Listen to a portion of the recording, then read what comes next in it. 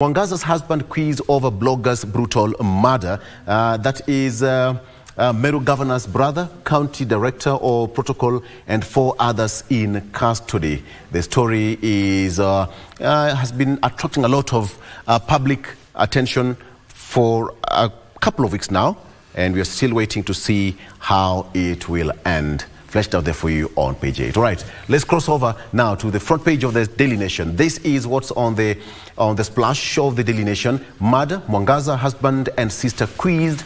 The mystery death, uh, governor's brother is also being held by detectives alongside eight other suspects still being held for questioning. The husband to the governor, here he is, um, standing tall. Yeah, you have him.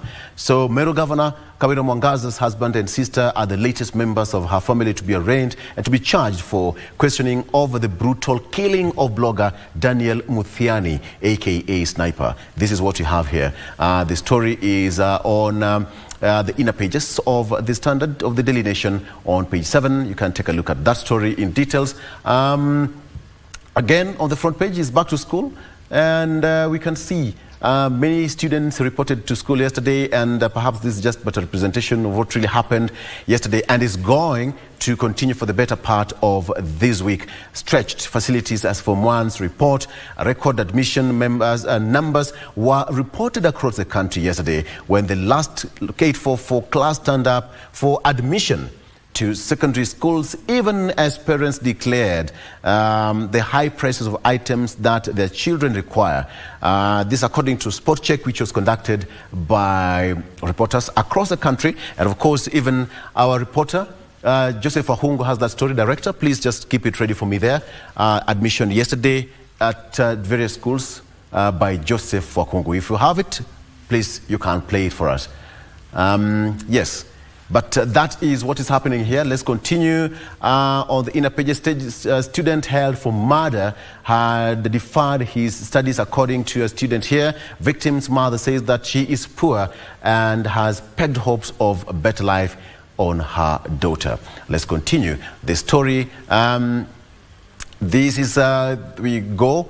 Uh, the, the case of uh, Martha and the executive is also here on uh, the inner pages of the Daily Nation. Koome calls for talks with Ruto over his attacks on the courts. This is what you have here. According to the Daily Nation, the Chief Justice said that um, she has already done a formal, a formal letter to the President, but to this date, as at yesterday, the, uh, the judiciary um, has not yet received that response. President has accused unnamed persons of using corrupt judges to block projects initiated by his administration. So that's what you have here.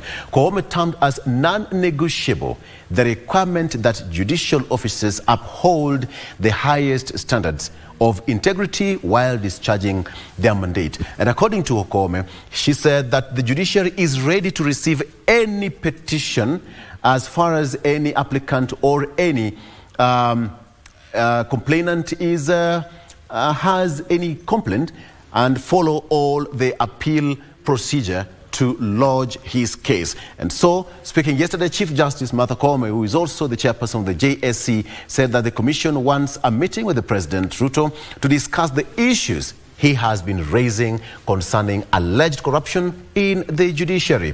So she also added that, uh, yes, uh, courts are open, but even after 5 p.m., applications can still be done online. So anybody can do an online application and the cases will be heard on merit and based on the law provided under the constitution. That's where we have it. All right, Kalonzo pulls uh, now plots how to gain political clout. Uh, there we have it. Wiper Party holds its first national executive committee meeting this year today to chart the way forward. An interesting development.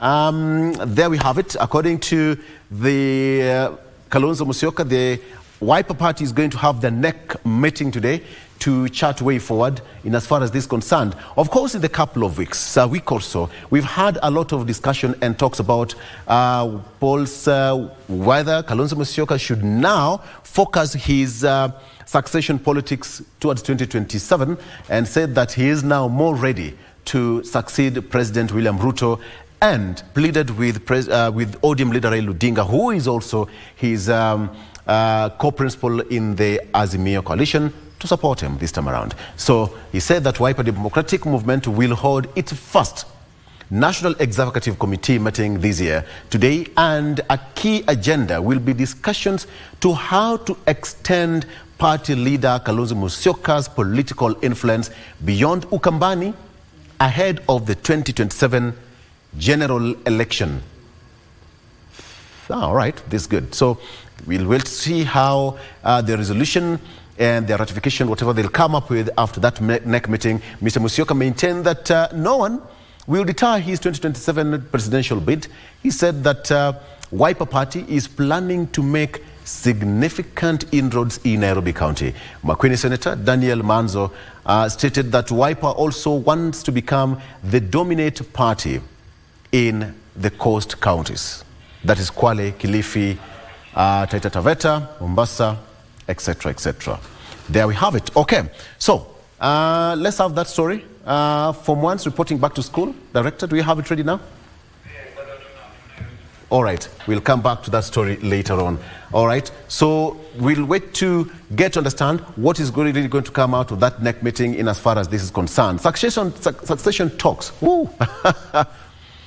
succession talks uh, talk ill times. Gachagua child critics. That is what we have. Um, Rift Valley leaders assure DP of their support during the burial of Bomet Senator's father, that is Hilary Sigei. Okay, DP says that uh, his, his main focus um, is to help the president achieve the goals he has set. And um, yeah, we've heard that story about the Kiharu Member of Parliament, Ndindi Nyoro, and now the Deputy President Rigathi yesterday dismissed as premature succession politics in Kenya and in Kenya Kwanza that has led to some politicians from his central Kenya backyard to demand that uh, he be dropped in the 2027 polls. And now Mr. Gachagua reiterated his commitment to serve as the principal assistant to President William Ruto, emphasizing that uh, he will not engage in uh, unnecessary succession politics. He said that his main focus and his main agenda is to assist President William Ruto to deliver on his manifesto. Last week, some Kenya Kwanza um, MPs proposed Kiharu, Member of Parliament, Ndindi Nyoro, as the possible replacement of uh, Mr. Gachagua in the 2027 uh, general election, sparking a lot of uh, conflict within the ruling UDA party. Uh, but uh, the DP yesterday told the critics that uh, he's focused on um, his mandate as the deputy president and does not mix issues.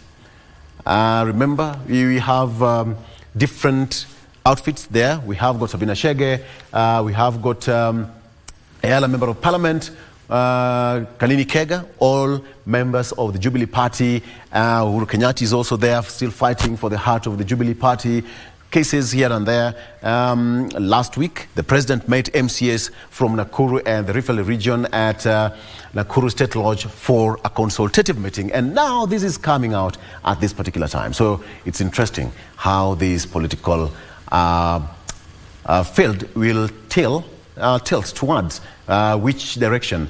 It's, it's amazing how politics in Kenya is being played. So there we have it. He said that he's not ready for that. Mwangaza's husband and sister quizzed over blogger's murder. That's on the uh, inner pages of the Daily Nation here. Uh, three members of Meru governor's family have now recorded statements, even as she cited political interference. Um, yeah, so let's wait and uh, just hope uh, that things will be the way they are. And uh, there we have it, according to political activists.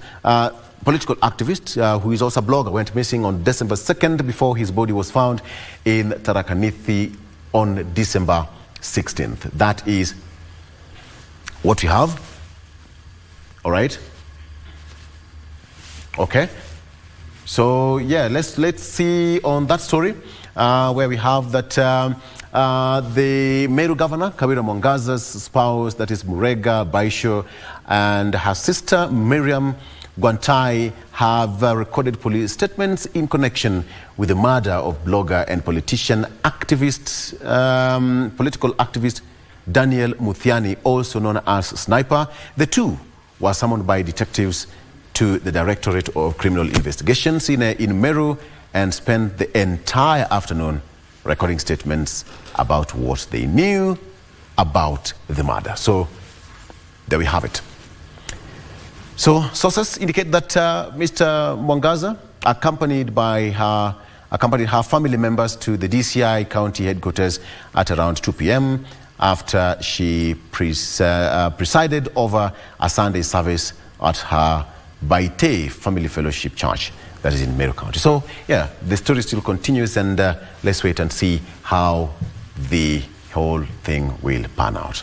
President, again, uh, still Treasury one step closer to single account as cabinet approves plan. Approval is the culmination of a decade-long effort to consolidate government funds under one account. This is what you have.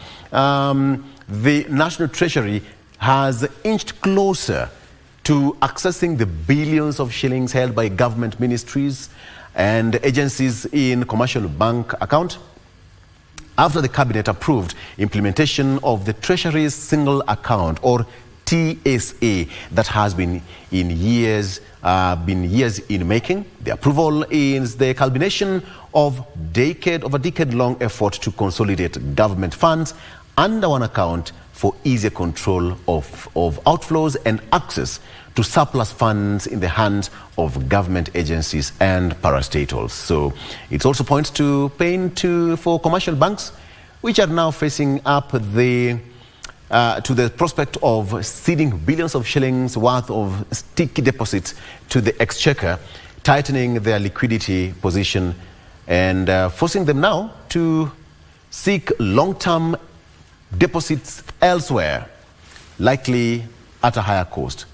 So by the end of June 2023, data from the Central Bank of Kenya uh, showed that deposits by the Kenya's, by the central government and other public sector entities um, in commercial banks stood at 509.8 billion shillings.